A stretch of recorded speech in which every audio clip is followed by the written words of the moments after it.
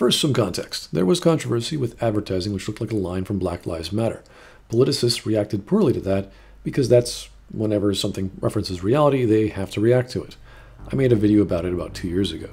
To top that off, Eidos, with pressure from Square Enix, was forced to put the wonderful world of microtransactions in their single player game.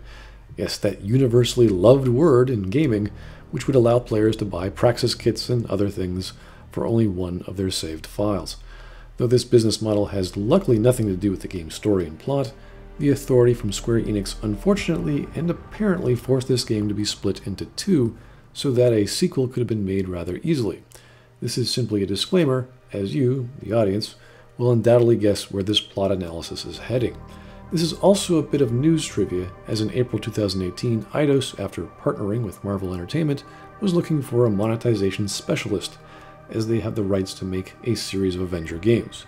Microtransactions were also present in their 2015 release of Rise of the Tomb Raider. We're two years after the events of the ending of Human Revolution, and Jensen is amazingly alive and fine. No explanation how. There was some airplane incident where an AUG attacked a cockpit and the plane exploded, but now he's on a mission to stop some kind of bad guy from selling black market goods, but not making the arrest and instead keeping other bad guys called the Jinn from joining the main fight with his team. You have the first option to play in a lethal or non-lethal way, which is a nice touch to the Deus Ex combat formula. We've got a UC in there. Might be easier to maintain. Wait, a what? Along with your choice of lethal or non-lethal equipment, you get another choice based on weapon ranges. This is also good but feels a bit impractical as the commander of the team is talking to an AUG specialist about how he's going to do his job when everyone probably should have been ready to do exactly what they were going to do before they got into the plane. This choice could also have been reduced to one with four options. Still, the focus is player agency, even if the narrative is making it look like the commander is unprepared and not sure what to do with this augmented team member who's apparently going in solo and apparently good enough to fight off an entire group of enemies alone. We get this cutscene, which appears rather odd to me. It's as if the objects on the ground are small miniatures of a model. They kind of appear closer than they seem, and not the real thing. This might have to do something with the lighting or the rendering engine affecting textures, or perhaps the camera angle or the level of detail. I can't quite say. There's just something off about it. Once Jensen then Icarus jumps off the plane, we then get a very proper sense of scale, so that's much better. We get a neat speech to text in game cutscene, which is a bit distracting while playing. الراجل اللي هيبيع لنا الحاجات جاي كمان شويه روح قول لبقيه الناس آه، ان انا هحصلكم you got balls, Singh? Executing a buy with a sandstorm on her ass? I cannot take credit for Mother Nature, mister. You can call me Shepherd.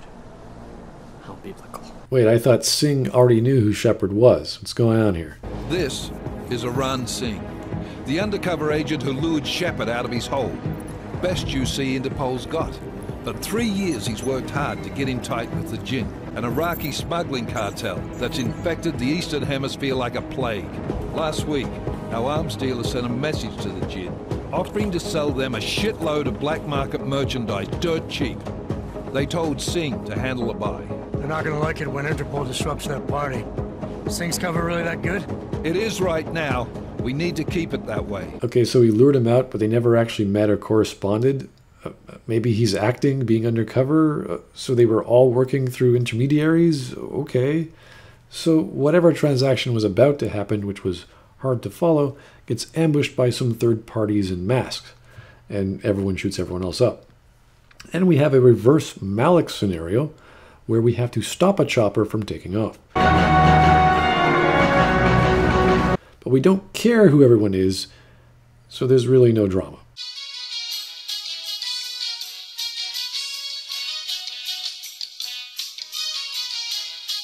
And this is a non lethal stealth playthrough. There's no action either, but that's by choice.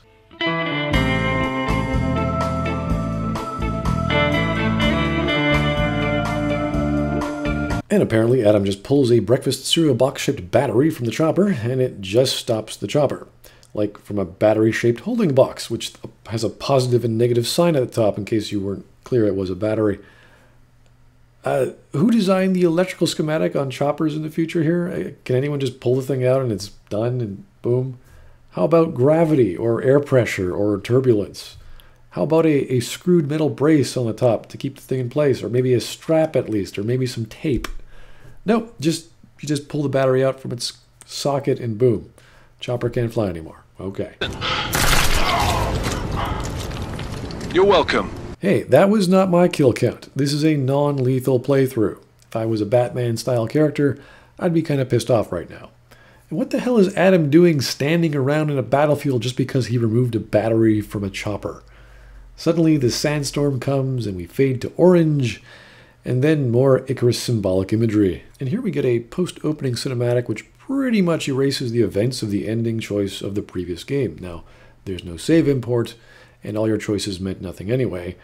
But in this instance, Jensen is magically alive. He survived the events of the ending despite being on the bottom of the ocean, and apparently Eidos went with the last ending, the fourth one, which is I've gone over detail in the last uh, Human Revolution plot analysis video I made as being the most nihilistic, murderous, and insane version of a hero's choice we've ever seen. It invalidates Adam as a character, and everything you as a player did, even in a lethal playthrough. You just kill everyone, including yourself, but apparently being half a metal man at the bottom of the ocean and blowing up a giant tower you're in, which kills everyone in it, including other augmented people who are closer to the surface, allow you to survive and somehow float to the top of this Arctic Ocean facility that's 1.5 kilometers deep. Because insane, murdering, explosive heroes that turn into terrorists are sequel material. Agent Jensen. I won't let it happen again. What do you mean you won't let this happen again? You caused it.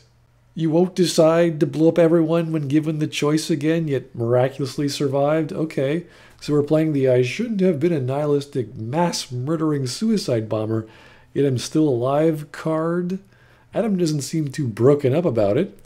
In an ending which is inspired by Battlestar Galactica and meant to be interpretive nonsense, we're now trying to guess Adam's mental state and reason for being, or whatever he's trying to do. Is he an anti hero? Does he want people to die? Does he want to die himself? Does he like being augmented anymore? Does he want to save augments? Does he want to save everyone else?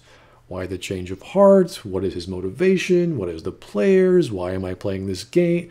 Imagine choosing the refusal ending in Mass Effect 3, but instead of being proud of defying the big bad by just giving up, you actively kill everyone on Earth because you didn't want them to become Reapers or something. And for some reason in the sequel, you survived. The Reapers didn't kill everyone, and the galaxy seems broken but alive. You still play as Shepard, but Shepard doesn't want to make that choice again for okay, yeah, things, bad things are bad, but why did you do them?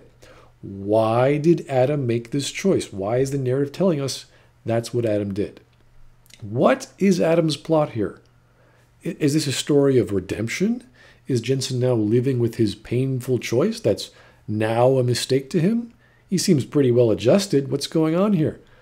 So, as you can tell from the production value, we're already off to a great start. Numbers, more numbers, meaning more meaningless number. What? Th then there's this big old exposition dump from the Illuminati. Didn't like the ending of Human Revolution, uh, something called the Human Restoration Act. Rand and Stanton go to New York with political and financial influence for the act to pass. Elizabeth, Lucius, Dowd's money, Nathaniel Brown, alternate strategy from Bob Page with a sleeper cell. Janus and the Juggernaut Collective. But Janus won't be an issue because semi-Asian old guy made arrangements. Got it? Okay. Now we have no idea who's doing what and why, why the protagonist was doing what they're doing and why, what the antagonist wants really, and what the hell happened really two years ago. Everything is up in the air, but we pulled a battery out of a helicopter, so that's okay. Go Go Gadget pre-cyberpunk electrical engineering. Oh, the beginnings and endings of this story are going to be fantastic.